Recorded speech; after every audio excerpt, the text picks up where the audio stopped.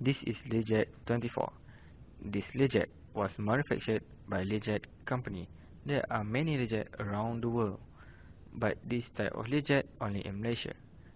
There are many parts in Learjet, but we gonna focus on wing part only.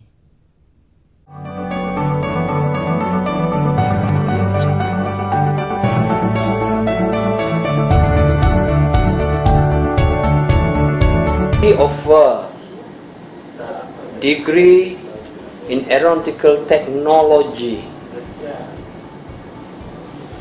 in aircraft maintenance, in piloting, and also in air traffic control.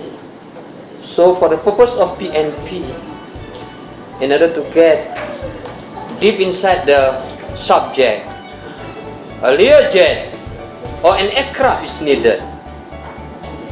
Most probably, the aircraft that we need should be suitable for the license that we are going to pursue. The license is maintenance B1.1, meaning maintenance license for uh, turbojet engine.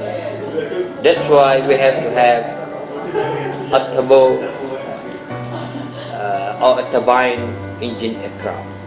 For this purpose, for the PNP purpose, and with the limited budget of UTHM, then a Learjet is the most appropriate one.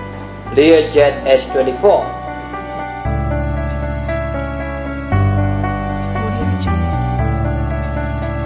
So guys, I'm in the co-pilot seat of the Learjet.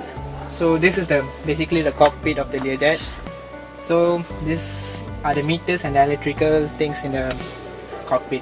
So what I'm gonna explain now is about the aileron and the connection between this the yaw. So when I move the yaw to the left, the aileron of the wing will move down. When I move it back to the center, it will move back to its original position. And when I move it to the right, it will move to the up. So this enable the plane to move. This thing over here, the altitude management system and the display over here will display data about what position aileron do we need to push during the flight over.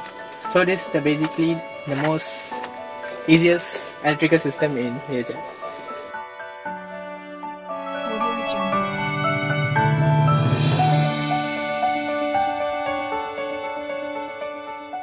This is the simple fuel control system of the Learjet. At first, we on the master switch. Fuel control system used to control the wing fuel tank that connected directly to the main fuel tank. When we on the transfer pump switch system, will transfer the fuel at wing tank to the main fuel tank. There is also inverter that used to change AC current to DC current. There is also turbine engine fuel control that used to change or control the rate of fuel that entering the combustion chamber. This is the combustion chamber.